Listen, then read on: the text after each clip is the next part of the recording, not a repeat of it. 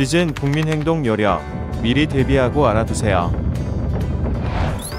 스텝 1. 평소에는 이렇게 대비합시다. 집 안에 있는 안전한 대피 공간을 미리 파악해 둡니다. 유리창 같이 위험한 위치를 확인해 두고 지진 발생 시 가까이 가지 않습니다. 깨진 유리 등에 다치지 않도록 두꺼운 실내화를 준비해 둡니다. 지진에 대비하여 비상용품을 준비해 두고 보관 장소와 사용 방법을 알아둡니다.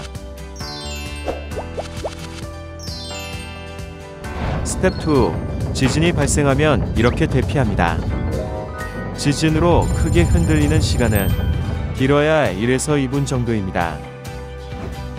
탁자의 아래로 들어가거나 방석 등으로 머리를 보호합니다. 가스밸브를 잠그고 전기를 차단한 후 문을 열어 출구를 확보합니다. 흔들림이 멈추면 출구를 통해 밖으로 나갑니다.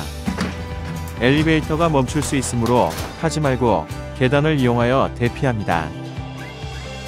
스텝 3. 대피 후에는 이렇게 행동합니다.